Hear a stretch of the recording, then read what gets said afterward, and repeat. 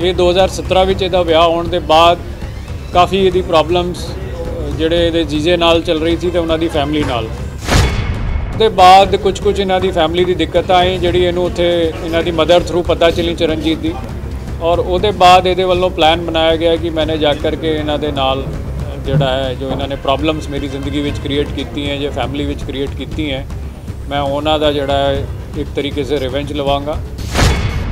ਫਿਰ ਇਹ 8:30 ਵਜੇ ਦੇ ਨੇੜੇ ਉੱਥੇ ਗਿਆ। ਉਹਨੇ ਗੱਡੀ ਕਰੀਬ ਆਪਣੀ 10 ਮਿੰਟ ਦੇ ਰਾਹ ਜਿੱਥੋਂ ਪੈਦਲ ਚੱਲਣਾ ਸੀ, ਉੱਥੇ ਪਾਰਕ ਕੀਤੀ। ਔਰ ਪਾਰਕ ਕਰਨ ਦੇ ਬਾਅਦ ਆਪਣੇ ਰਕਸੈਕ ਨਾਲ ਪਹੁੰਚਿਆ, ਜਿਹੜੇ ਵਿੱਚ ਇੱਕ ਚਾਕੂ ਤੇ ਕੁਝ ਗਲਵਸ ਵਗੈਰਾ ਇਹ ਨਾਲ ਲੈ ਕੇ ਗਿਆ ਸੀ। ਇਹਦੀ ਗ੍ਰਿਫਤਾਰੀ ਹੋ ਚੁੱਕੀ ਹੈ ਤੇ ਅੱਜ ਇਹਨੂੰ ਗ੍ਰਿਫਤਾਰ ਕੀਤਾ ਗਿਆ ਹੈ ਕਿਉਂਕਿ ਇਹ, ਇਹਦੀ ਜਿਹੜੀ ਜੋ ਇਹਨਾਂ ਦੀ ਲੜਕੀ ਸੀ, ਉਸ ਵੱਲੋਂ ਜਦੋਂ ਇਹਨੂੰ ਫੁਟੇजेस ਵਗੈਰਾ ਦਿਖਾਏ ਗਏ, ਉਹਨੇ ਵੱਲੋਂ ਆਇਡੈਂਟੀਫਾਈ ਕੀਤਾ ਗਿਆ ਔਰ ਇਹਨੂੰ ਪਹਿਚਾਣ ਕਰਕੇ ਪਤਾ ਕੀਤਾ ਗਿਆ।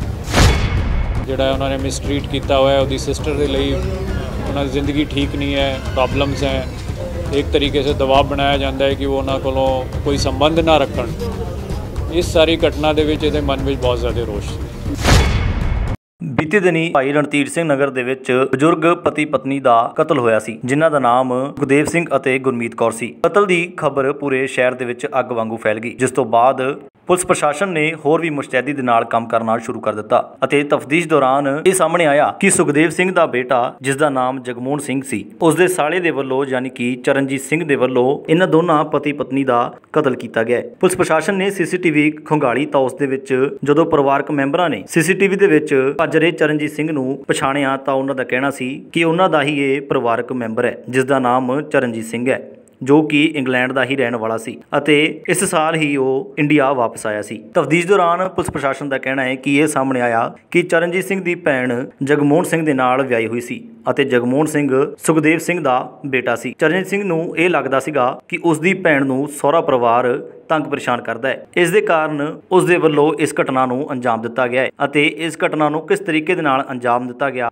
ਤੇ ਉਸ ਤੋਂ ਬਾਅਦ ਚਰਨਜੀਤ ਸਿੰਘ ਕਿੱਥੇ ਲੁਕਿਆ ਹੋਇਆ ਸੀ, ਇਸ ਦੇ ਬਾਰੇ ਜਾਣਕਾਰੀ ਦਿੱਤੀ ਇਸ ਮੌਕੇ ਲੁਧਿਆਣਾ ਦੇ ਪੁਲਿਸ ਕਮਿਸ਼ਨਰ ਕੌਸਤੁਭ ਸ਼ਰਮਾ ਦਾ ਕੀ ਕਹਿਣਾ ਹੈ, ਤੁਸੀਂ ਵੀ ਸੁਣੋ।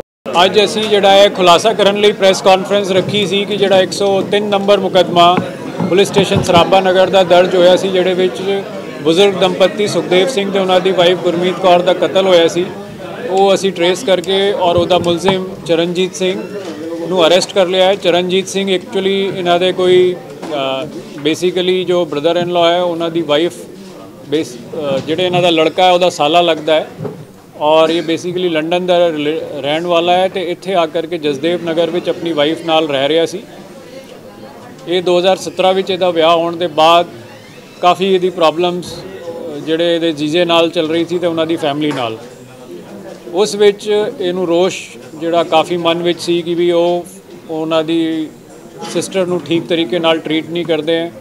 ਉਹਨੂੰ ਜਿਹੜਾ ਹੈ ਆਪਣੀ ਫੈਮਿਲੀ ਨਾਲ ਘੁਲਣ ਮਿਲਣ ਨਹੀਂ ਦਿੰਦੇ। ਹੈ ਔਰ ਉਹਨੂੰ ਇੱਕ ਤਰੀਕੇ ਸੇ ਟਾਰਚਰ ਕੀਤਾ ਹੋਇਆ ਹੈ ਤੇ ਔਰ ਆਪਣੀ ਵਿਆਹ ਦਾ ਵੀ ਇਹਨੂੰ ਇਹ ਰੰਜਿਸ਼ ਸੀ ਕਿ ਵੀ ਇਹਦਾ ਵਿਆਹ ਦੇ ਵਿੱਚ ਬਹੁਤ ਜ਼ਿਆਦਾ ਕਲੇਸ਼ ਪਾਇਆ ਗਿਆ।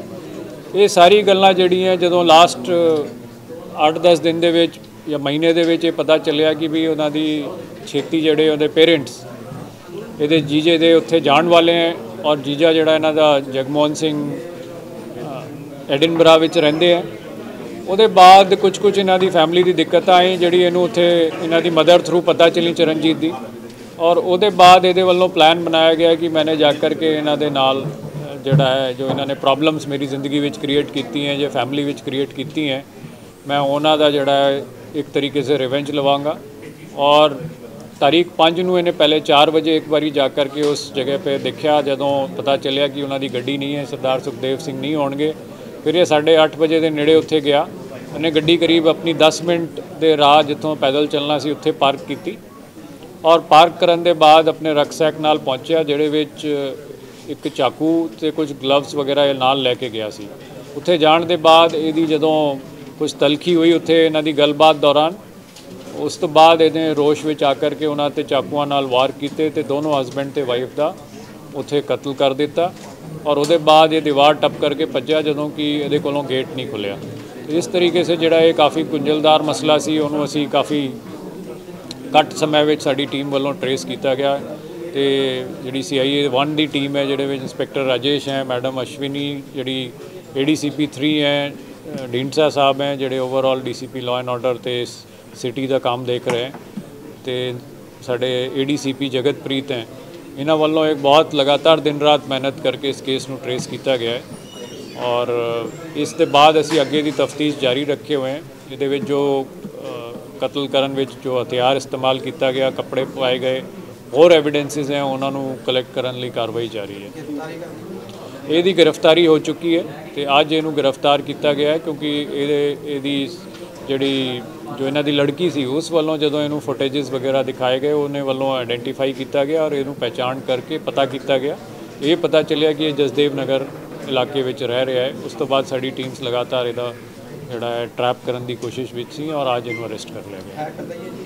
ਇਹਨੇ ਅਕੇਲੇ ਹੀ ਕੰਮ ਕੀਤਾ ਸੀ ਕਿਉਂਕਿ ਇਹਦੀ ਵਾਈਫ ਵਗੈਰਾ ਨੂੰ ਹਾਲੇ ਤੱਕ ਇਹ ਪਤਾ ਚੱਲਿਆ ਹੈ ਕਿ ਇਸ ਬਾਰੇ ਦੇ ਪਲਾਨਸ ਬਾਰੇ ਬਹੁਤ ਜ਼ਿਆਦਾ ਨਹੀਂ ਸੀ।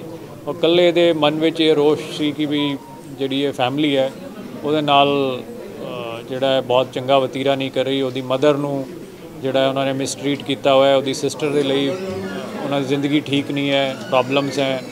ਇੱਕ ਤਰੀਕੇ ਸੇ ਦਬਾਅ ਬਣਾਇਆ ਜਾਂਦਾ ਹੈ ਕਿ ਉਹ ਉਹਨਾਂ ਕੋਲੋਂ ਕੋਈ ਸੰਬੰਧ ਨਾ ਰੱਖਣ। ਇਸ ਸਾਰੀ ਘਟਨਾ ਦੇ ਵਿੱਚ ਇਹਦੇ ਮਨ ਵਿੱਚ ਬਹੁਤ ਜ਼ਿਆਦਾ ਰੋਸ਼ ਸੀ। ਅੱਗੇ ਦੀ ਪੁੱਛਗਿੱਛ ਅਸੀਂ ਕਰ ਰਹੇ ਹਾਂ ਔਰ ਜੋ ਵੀ ਐਵੀਡੈਂਸਿਸ ਹੈ ਕਲੈਕਟ ਕਰਕੇ ਔਰ ਜਿਹੜਾ ਇਹਨੂੰ ਜਲਦ ਤੋਂ ਜਲਦ ਅਦਾਲਤ ਪੇਸ਼ ਕਰਨਗੇ।